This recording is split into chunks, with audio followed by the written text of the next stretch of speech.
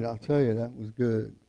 All right, let's go to the Lord in prayer. Father and God, we thank you for this time together. We thank you for these wonderful hymns uh, that we sang here this evening, Lord. What a, what a day that will be when my Jesus I shall see, when I look upon his face, the one who saved me by his grace. Thank you so much, Lord, for loving me and forgiving me of all my sin and iniquity and every evil thing I ever thought or done. Thank you for the cleansing with thy precious blood. Thank you for the white robes of righteousness, Lord God.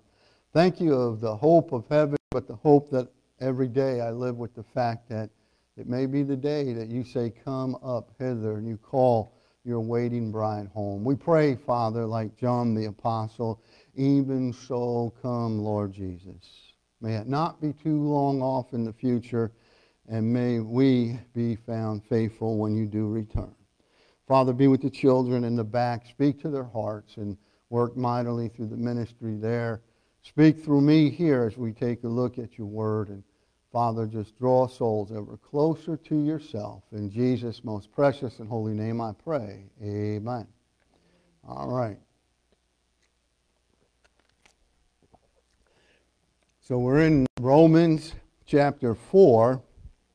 And tonight I decided to ditch the outline because sometimes the outline gets in the way. And so we're going to take a look at Romans chapter 4 and try to learn something. Amen. It was funny because I was talking to uh, me and Charlotte's dad have a lot of good conversations about pastoring and preaching and messages and stuff. And, and we both agreed that, you know, sometimes the outline just gets in the way. And you just need to just preach the straight word of God. And so I was going through this. I'm like, this is such a great chapter. I don't want to mess it up by an outline getting in the way. So I didn't outline it. We're just going to look at it. Amen. Now, in, in chapter 3, we learn from the book of Romans that salvation is free. For us, it costs nothing. It costs Jesus everything. Amen. It costs God the Father a lot, everything. But for us, it's absolutely free. He says in chapter 3 of verse 26, he says, To declare, I say, at this time, his righteousness, that he might be just and the justifier of him which believeth in Jesus. Where is boasting then? It is excluded. By what law? Of works? Nay, but by the law of faith. Therefore, we conclude that a man is justified. He is declared righteous by faith without the deeds of the law, the works of the law. Salvation is free. Then in chapter 4, we see that salvation is by faith. It is by faith. It's and believe in faith. It's, it's the same word. It's, uh, it's basically talking about the same thing. And so salvation is by faith. Now, in the first three verses there, of chapter 4, the Word of God starts off by telling us, What shall we say then that Abraham our father, as pertaining to the flesh, hath found? What has he found? What did Abraham find out? For if Abraham were justified by works, he hath whereof to glory, but not before God. In other words, if Abraham was declared righteous by works, he might be able to glory in the presence of other men and say, Listen, I left the Ur of the Chaldees. I loaded up and I moved into Canaan and I did all this by faith. And look at you, you're disobedient. You don't obey God the way I obey God. And so, compared to other men, he might have room to glory, but not before God. Nobody can ever. What is that? Is that me? I thought I left this in my coat pocket. Uh, he should know better than be calling me now. I just need that there. Tom, Tom Beam with the doll. He should know I'm in service right now. All right. Now I got to get my thoughts back on. He can't. He cannot glory before God. Amen. Because nobody can. In fact, Think about it. Think about would you be willing to take the best five minutes of your life, of all, of all the years that you live, the best five minutes of your life, and be willing to put that on the scale of God's justice? None of us would. Amen. We, we know we would still come short. Amen. So he wouldn't glory before God. Nobody can glory before God that their works were so good that they were able to get to heaven because they just lived up, lived up to the law of God all the time. Nobody can do it. And so he tells us there in verse 2 For if Abraham were justified by works, he hath whereof to glory, but not before God. For what saith the Scriptures? What do the Scriptures say? Abraham believed God, and it was counted to him for righteousness. He believed God. He was made righteous not because of what he did. He was, he was counted righteous because of what he believed. He believed God, and it was accounted to him for righteousness. Now, uh, verses 16 through, through, through uh, 21 define for us what he, what he believed. What was it that he believed? Well, he believed what God told him. Uh, we're going to get to that. I was going to, you know, just cut to that and look at that, but I want to take this chapter 4 as it's laid out before us. But I do want us to go back to Genesis 15 real quick to see what it was that Abraham believed. Because here, Paul is quoting uh, Genesis chapter 15, verse number 6. But we want to look at Genesis, uh, Genesis 15. We want to look at those first, first six verses real quick. Genesis chapter 15. And there, uh, the Word of God tells us. Genesis 15, the Word of God tells us at verse number 1 After these things, the word of the Lord came unto Abram in a vision, saying, Fear not, Abram, I am thy shield and thy exceeding great reward. And Abram said, Lord God, what wilt thou give me, seeing I go childless? And the steward of my house is this Eliezer of Damascus. And Abram said, Behold, to me thou hast given no seed, and lo, one born in my house is mine heir. And behold, the word of the Lord came unto him, saying, This shall not be thine heir, but he that shall come forth out of thine own bowels shall be thine heir. So it's going to be not somebody, not one of your servants or someone in your home. It is going to be someone that you bring into this world, you and Sarah both. Now, the, the whole thing with Ishmael was Abraham and Sarah acted in the flesh trying to help God along instead of just trusting and believing God. All right, so anyway, he, he tells him in verse number 5 and he brought him forth abroad and said, Look now toward heaven and tell the stars if thou be able to number them. And he said unto them, So shall thy seed be. There's your seed, Abraham. That's how many is going to come from you, if you can count them. Now, notice verse 6 And he believed in the Lord, and he counted it to him for righteousness. So, what did he believe? He believed that he was going to have seeds. If he could count the stars of the heaven, that's how many there would be. He believed what God promised him would come to pass. Now, it's important because a lot of people, even amongst our Baptist circles, they, they say, oh, Abraham believed the gospel, death, burial, and resurrection. Abraham didn't even know the gospel. He didn't know the death, burial, and resurrection. In fact, they didn't understand most of that. We're going to look at that as we look at uh, Luke chapter 24 on Sunday nights. We're going to get into that a little, little deeper yeah, it was there in the Old Testament, and there was types of it, and the, and the prophets talked about it. But the way that they were understanding things is that there was two messiahs. There was a, a suffering messiah, and there was a political messiah. Even today in Israel, they still are looking for two messiahs, a suffering messiah and a political messiah, a, a, uh, a Ben David and a Ben Joseph. And that's what those Jews call them. That's not biblical, but that's what, what they believe, what they're looking for. Uh, so the Jews didn't totally understand everything, and for sure, Abraham didn't understand about death, burial, and resurrection. So, what did he believe in order to be declared righteous before God? He believed that what God told him was true. and would come to pass. That's what he believed. Now, we today, we believe God by believing that Jesus Christ was enough to satisfy the wrath of God. We believe in the death, burial, and the resurrection. And because we believe that, God declares us righteous. So you've got to pay attention to the dispensation and individuals in and how much information they have. Amen? How much information they have. There's no way I mean, I, I challenge you. I challenge anybody. You show me where he believed in the death, burial, and resurrection. You're just not going to find it. Amen? You're not going to find it there. But what did he believe? He believed that what God told him would come to pass. It would happen. Amen? So that's why he was made righteous. He, his, his belief, he believed God, and it was counted unto him for righteousness counted, it was put to his account. All right, back in Romans chapter 4, now verse number 4. Now to him that worketh is the reward not reckoned of grace, but of debt.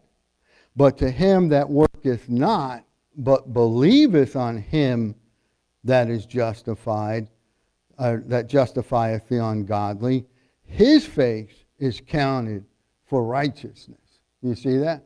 What's counted for righteousness? His faith. Why? Because he believed the right thing. He believed the gospel message. So now the argument that Paul is going to begin to make is that, is that works is all of debt. You're, you're, you're a debtor. If you're trusted in works, it's not grace, it's a debt. You're trying to pay off a debt. So he says in verse 4 again, he says, Now to him that worketh is the reward not reckoned of grace, but of debt. I want you to think about this uh, uh, concerning like your employer. Uh, every week when I worked at Walmart, uh, before I went full time here, when I'm working at Walmart, uh, every well every other week I guess it was, they gave me a check, right? That check was my paycheck. That wasn't grace from Walmart. That was Walmart paying off a debt. They owed me that money because we were in an agreement that I would work for X amount of dollars and they would pay me. So when payday came, that was a debt. They were paying a debt. Now at Christmas time, they would give you a $50 check for Christmas, okay? And people would complain about that. I one time I walked in the office and this lady's complaining, well, Walmart give me $50 and I can't believe that. And I said, well, first of all, can you imagine $50 per every employee that Walmart has? That's a lot of money they're giving away. And they're giving that to you. You're not working for that. You're not earning that. They're giving this to you. So how can you complain? They don't have to give you anything, right? They don't have to give you anything. And so, so what? It's $50. It's $50 you didn't have. And so it is, it's grace. So my regular paycheck is work, and Walmart is paying off a debt because I work for that money. But that Christmas bonus, that was grace because they were giving me something that I didn't necessarily deserve. And they didn't necessarily have to give. Amen? So there's a difference between works and grace. And, and work, you're, you're paying off a debt. You know, uh, I use this illustration all the time. If I tell George, George, go wash my car and I'll give you my Bible, right? Well, that's not a gift because it's based on him doing a job, washing my car. So it's works. He's working for my Bible. And with salvation, there is no work attached to it at all. It is a gift. If it's not a gift, if you got to do something to get it, then it's not a gift no longer. But the Bible repeatedly calls salvation a gift from God. And so it's a gift that is all you can do is receive it or reject it. Say, no, I don't want that, or yes, and receive it and take it. And it is a gift. And so that's what salvation is. So, he says, Now to him that worketh is the reward not reckoned of grace, but of debt. But to him that worketh not, but believeth on him, believeth on him, that's believing on the Lord Jesus Christ. And it's encompassing the death, the burial, the resurrection, and all that he did. But believeth on him that justifies, declares righteous. Now, who does he declare righteous? Who does he justify? The ungodly. See, there ain't nobody that got saved because they were a pretty good person. Well, look at me. I'm a pretty good guy, so why wouldn't God save me? Come on now. You know, and some people you really think that perhaps they believe that. Amen. But the Bible tells us he justifies the ungodly. And that's what I was. When I got saved, I was ungodly in every way possible my thoughts, my deeds, my words. I was just an ungodly individual. And he justified me, he declared me righteous. Why? Because of what Jesus did and my faith in that. I believed in what Jesus did. Amen. And I asked him, based upon what you did, Lord, please forgive me. And he did. Amen. Forgave me all my sin, past, present, and future. He forgave it all. All right? So, verse 5 again. But to him that worketh not, but believeth on him that justifieth the ungodly, his faith is counted for righteousness. So, what's counted for righteousness? My faith. Not what I do, but what I believe. What I believe. Amen? Because you can do a lot of things and it not be good enough, right? You can be at church all the time, but have no faith you're going to die and go to hell. Even if you're in a church that's believing the truth and you just don't believe it. I've, I've shared this story with you before about a college professor, and uh, around the Easter time, this college professor, I wish I could remember the college and I can't, and he got up and he preached this absolutely tremendous message on the resurrection. And he, people applauded him and everything. And he went back to his seat and he sat down, and his colleague there, he said, Hey, I, I thought you didn't believe in the resurrection. And he said, Oh, I don't, but they do. You see that? He didn't believe, but he was preaching it as if he did because he knew the people listening to him would believe it and would like what he was saying.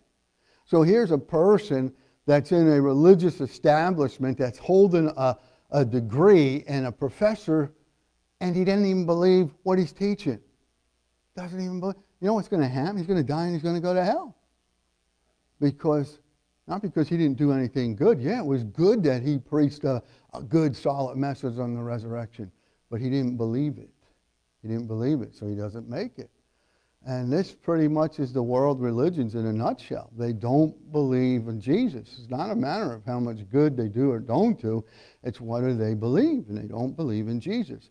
There's a lot of people that don't believe in the Lord that are basically, in our eyes, morally good people. Now, the Bible tells us there's none good, no, not one. There's none righteous. There's none that seeketh after God.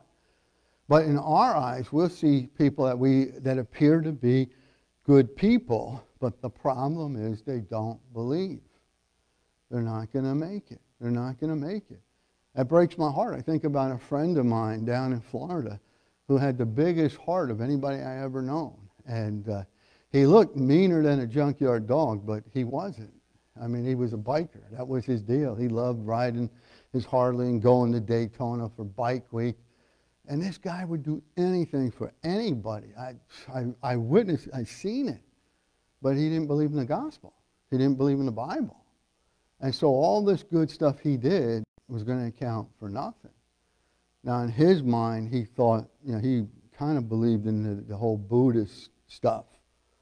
And when we met, I got to, when we met, we first were on the job site and, and uh, we were hanging drywall together and we were on lunch break. And, and he said, so, so great, man, tell me, what kind of preacher are you? And I thought I would kid around, and I've done this with a lot of people. I said, well, I'm a, I'm a Buddhist, you know, a Buddhist preacher. And he said, no way, man, me too. I, so then I had to apologize and say, no, I'm, I'm teasing you. I'm not. I'm not. I'm not a. I'm not a Buddhist preacher. Mm. Yeah, I got that doctor's attention, didn't I? Told George's doctor when they were loading him in a helicopter. He said something. He said, "This is my pastor." He said, "Oh, what kind of pastor?" I said, "Buddhist." And his look was funny. I said, "No, no, I'm a Baptist." But uh, but it's kind of funny just getting the getting you know shaking them up a little. I, I, like when I get around like these fundamental guys, like these really strong fundamental guys, you know, and they're like, "So where'd you go to Bible college?" And sometimes I'll say Harvard Divinity. I said, "It's a very liberal school," and and the looks that I get, Harvard Divinity. I said, "No, I was kidding, Liberty." No, and that gets even worse looks. But, uh, but I said, no, no, I didn't go to those schools. I went to BBC East. And now BBC East, you get dirty looks. If people in Baptist Bible College East, like, uh, they're a little, little on the liberal side, aren't they? Well, it depends on how you define liberal. They're a lot looser than we are, I can guarantee you that, but they still believe in the core doctrines. I don't necessarily would recommend anybody go there anymore, but uh, everything has, seems to go by the wayside as time goes by. Everything does. Yeah, he went to the one in Missouri, our sister school, because we, we were started out of that to try to reach people in the Northeast that churches would be started from BBC East. So all of our teachers and, and the, the school, the administrators of the school, they all were from, B, from Springfield, Baptist Bible College Springfield, which is also where Jerry Falwell graduated from. Yeah. But uh, all that has nothing to do with this message. So let's get back, let's get back on track here. All right, so in verse number four, verse number five, he the, he justifies the ungodly. His faith is counted for righteousness. Now he's going to bring David in as an example. Even as David also described the blessedness of the man unto whom God imputeth righteousness without works. Now, the blessedness, that word blessed, it means happy, the happiness, the blessedness of the man unto whom God imputeth. When it says that God imputeth, it means that God put this to your account. You didn't have this, and now God put it to your account. This was a, a legal uh, uh, term in the day in which Paul wrote this, and financial term, and it was talking about something being accredited to your account. Amen? So now, for sake of illustration, uh, say Jace runs into some guy at uh, the college. He's a multimillionaire. He really likes Jace, and he likes him so much. He goes to finds out what bank Jake Jace uses, and he goes there, and he puts in a hundred thousand dollars, deposits it right into his account. So now Charlotte is wants to get some school, uh, yeah, school clothes for the kids and whatnot. So she checks the bank account, see what what she got that she can use, and a $100,000. And so right away, Jace, where'd this come from? He doesn't know. Where, $100,000. And the bank says, well, so and so came and accredited this to your account. So now they have this $100,000 that they can use, right? And that's what God has done with his righteousness. He's accredited his righteousness to our account. Now, Think about it. Every time Jace would see this guy on campus, first of all, his first inclination would be to thank him, right? He gave you $100,000. So your first inclination is to thank him. Your second inclination is to never forget it. He'll never forget that that guy gave him $100,000. And that guy will just always have a special place in his heart because of that generous gift. Now, this is how it should be with us in salvation because God has accredited to us far more than any monetary value. Amen? Far more. He has taken his righteousness and he has put it to our account, given it to us, thus given us access to heaven. So that should cause us, number one, to want to thank God. And number two, to always look at God with high esteem in our heart. Right? And yet, so many times when something bad happens in people's life, they forget what God did. God gave you a home in heaven. How can you be bagging on God? Amen? And so we should have this appreciative heart, thinking what God has done. So David is talking about the blessedness of the man unto whom God imputed righteousness without works, saying, now, he's quoting Psalm uh, 30, 30 2, verses 1 and 2, is the verses that he's quoting here. And he said, saying, Blessed are they whose iniquities are forgiven and whose sins are covered. Now, he, David says covered because he's, he's quoting from what? The, the dispensation of law, the Old Testament. And the Old Testament, the bulls and goats did what? It, it covered your sin. That's all it could do. But under Christ, the blood of Christ removes it. It completely takes it away. It's Gone forever. Gone, gone, gone. My sins are all gone. We have it in our hymnal, right? It's gone, completely gone. So that's why he's quoting it. That's why he says covered, because you don't see that term really used often in the New Testament at all, because our sins have been removed, they've been taken away, they've been uh, separated from us.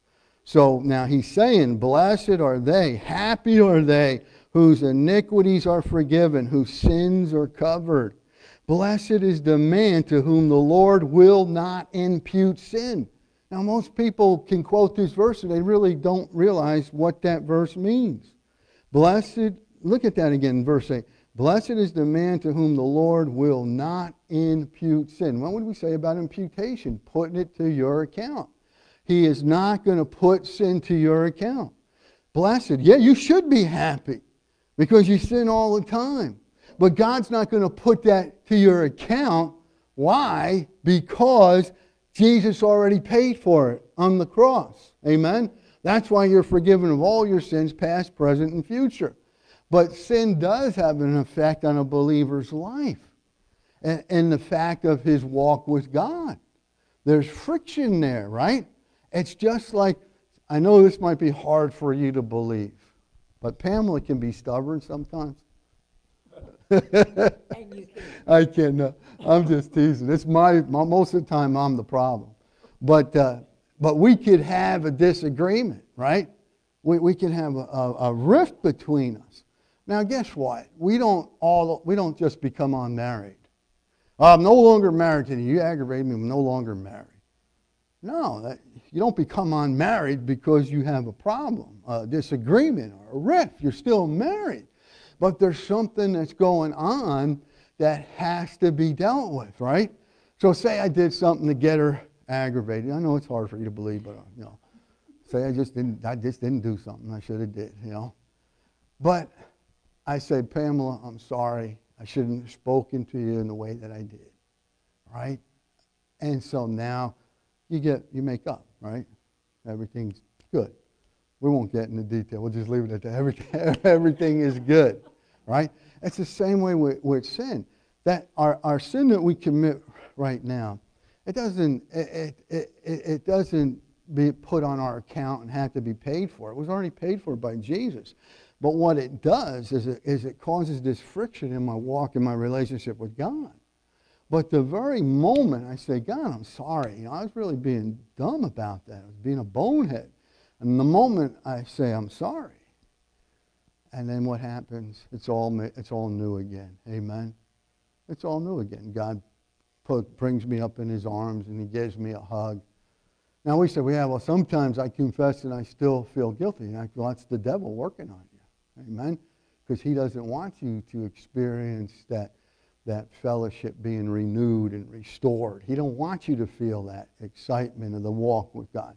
He wants you to think that God hates you, God don't like you, God is extremely uh, uh, upset, and he can't wait to get even with you for what you did. And that God just wants to cast you off. That's what the devil wants you to believe. And so that's why sometimes you'll do something and you confess it, and then you still feel guilty afterwards. And that's all it is. It's just a spiritual conflict in the mind. But as far as sin in general goes, everything has been paid for. It has been dealt with at the cross. Jesus took every sin, past, present, and future. So even, uh, you know, down, you know, we'll all do something when we leave here. You know, we'll all say something or whatever, do something we shouldn't have done. But that didn't surprise God because he knows everything. And Jesus paid for it back here on the cross. He doesn't keep on praying for it. See, this is the, the fallacy with, with Catholicism. It tries to mix works with grace, and they're constantly offering Jesus up as a sacrifice. No, he was sacrificed once for all. Amen? And so here we have this peace with God because of his sacrifice. So Paul, or excuse me, David, even under the Old Testament economy, David understands this blessedness. He says, Blessed are they whose iniquities are forgiven and whose sins are covered. Blessed is the man to whom the Lord will not, will not impute sin. He will not put it to their account. Now, uh, I'll tell you what, we're, because we're already at 5 of 8, I want to stop here. But he's going to go back to using uh, Abraham as an example again. And he's going to say, Cometh this blessing then upon the circumcision only or upon the uncircumcision also? For we say that faith was reckoned to Abraham for righteousness. Now, the argument of the day was that a person, um, sometimes circumcision and uncircumcision just simply is referring to a Jew versus a Gentile. But in this case, it's talking about what was the, the Jew's hope. His hope was in his circumcision. Amen? In fact, in Acts 15, and we'll look at Acts 15 next week, where, where they said you could not be saved unless you were circumcised. And so Paul has to deal with this error. What do you mean you can't be saved unless you're circumcised? And the Pharisees took it one step further. They said, not only do you have to be sacri- uh, uh, uh, circumcised, you have to keep the law. And you got to teach these Gentiles to do so. And Paul says, no, no, that's not true. That's not the gospel. Amen. And so that was that argument back then. But you know what? The argument is still going on today, but shaded a little different. People will say, well, you can't be saved unless you've been baptized. You can't be saved unless you're a faithful church member. You can't be saved unless you turn away, turn away from all your sin. And I've heard a lot of uh, evangelists and even guys in our circle and read tracts by people, and we might even have some tracts out there that say, if you believe and turn from all your sin. How much of a misnomer is that? Because there ain't nobody that turns from all their sin. Amen? That means you're absolutely perfect. And how much sin do you have to turn from that's enough to be saved? You see what I'm saying? And so and that phrase, turn from all your sin to be saved, is nowhere in the Bible. It's not in there. Amen? You will not find it. You will find the definition of the word repent twisted and forced in there, but you will not find that phrase. And so, anyway, he's going to go on to explain that you're saying you have to be circumcised to be saved, but Abraham, who is your hero of the faith, the father of the faith, Abraham when he was saved, when it was accounted to him for righteousness, was not circumcised yet. So if you have to be circumcised to be saved, then Abraham must not have been saved. That's Paul's reasoning. But he's, but he's making an argument that circumcision has nothing to do with it. It is purely, simply what you believe. What do you trust in? Where's your faith lie? That's what's important. Amen? And so we'll look at that as it unfolds. So we'll pick up in verse 9 next week as that unfolds. And we'll jump back at Acts 15 and look at that real quick. Any thoughts or questions? All right, let's go to Lord in prayer. Father and God, we thank you for this time together. We thank you for the Word of God. And Lord, I just pray you give understanding to the hearts of the hearers. You would give me an ability to, to speak your word, Father to speak it clearly and accurately, especially in these matters of salvation. And Father, I believe with all my heart that the waters have been muddied so much about salvation that, uh, that people just don't really know what the true gospel is anymore. They want to add works to it. Or they want to simplify it to the point where they think, just say this prayer and you're in when it simply is all it is, is understanding who you are and what you have done, death, burial, and resurrection, and putting all our faith and trust in that. Understanding in my heart, I need a sin. I need a Savior because I am a sinner. Thank you, Lord Jesus, for the forgiveness of sin. Thank you for all that you've done and all that you're going to do. In Jesus' precious and holy name I pray. Amen.